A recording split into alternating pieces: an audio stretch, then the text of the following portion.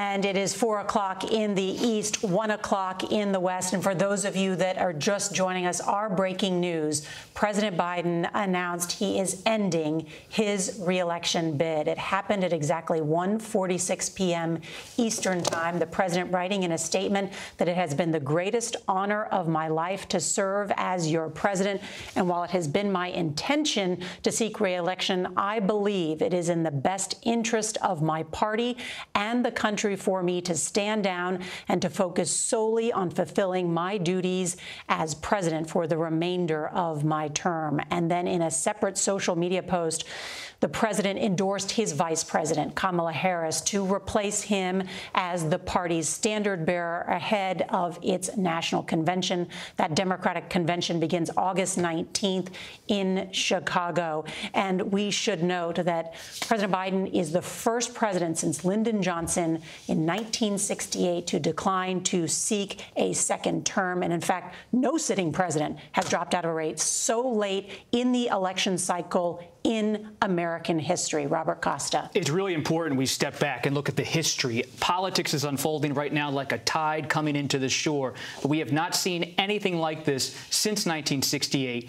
When Lyndon Johnson decided to not seek the Democratic nomination, the date was March 31st, 1968. We are now in the hot summer of American politics after the Republican National Convention, just weeks before the Democratic Convention in Chicago in August. And this is a, time that is so tumultuous in presidential history. In August 1974, Richard Nixon resigns the presidency. And now we will remember in books and histories to come that in July of 2024, President Joe Biden, alone in Delaware with just a few staffers and family members, decided to not seek the Democratic nomination as he looked out at the beach in Rehoboth Beach, Delaware. It's a seismic, shocking moment. Everything is in motion now for Vice President Harris.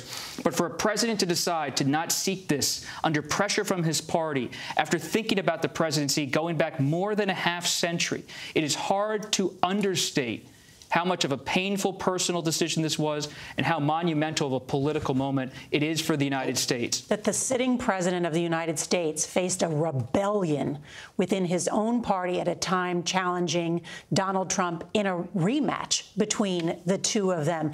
Two men, 81 years old, 78, Donald Trump. There's so much about this campaign. And when I stepped off the set to talk to one of his closest friends. They said to me something very interesting. They said when Lyndon Johnson stepped away in 1968, at least Senator Eugene McCarthy and Senator Bobby Kennedy had the guts to run against him publicly. Mm. What makes President Biden so bitter this afternoon in Delaware is that at 81 years old, he had to relent to pressure that was often private from allies of Speaker, former Speaker Nancy Pelosi and former President Barack Obama.